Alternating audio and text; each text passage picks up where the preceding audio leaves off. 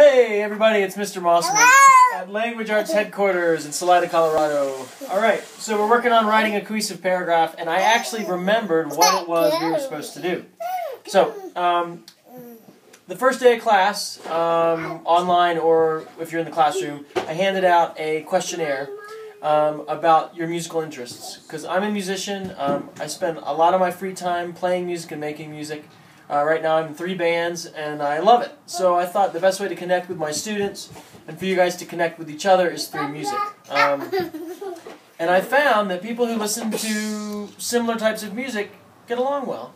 So that's what we're going to do. The first semester of the class, most of our group work will be in the band group. So anyway, um, basically, you have five questions on your questionnaire. And what we're going to do is we're going to turn the answer to those questions into a cohesive paragraph. All right? So the first thing that I want you to think about is how can I create a topic sentence? Which question that I answered will become a good topic sentence?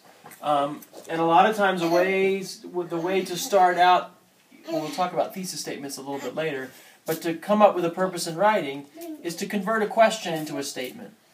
So let's figure out first, and you guys are going to look through your list of questions and your answers, which question would be a good one to start answering first with this paragraph. All right? So we're going to work on the organization of the paragraph first.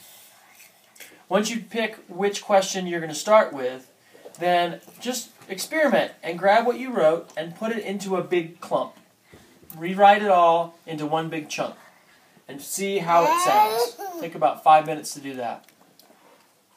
Okay, once you're done uh, with that, then we're going to figure out a way to wrap this, this thing up. What do we want to leave our audience with? Okay?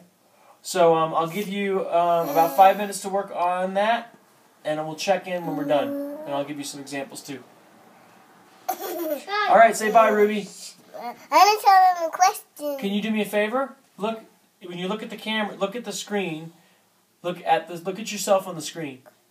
No. see, look what I'm see where see how I'm looking? So it doesn't look like I'm staring at the camera. You just step back and be natural. See? That's better, isn't it? Hello, I'm Ruby. Hi. Shut up. Okay, Hi. say bye.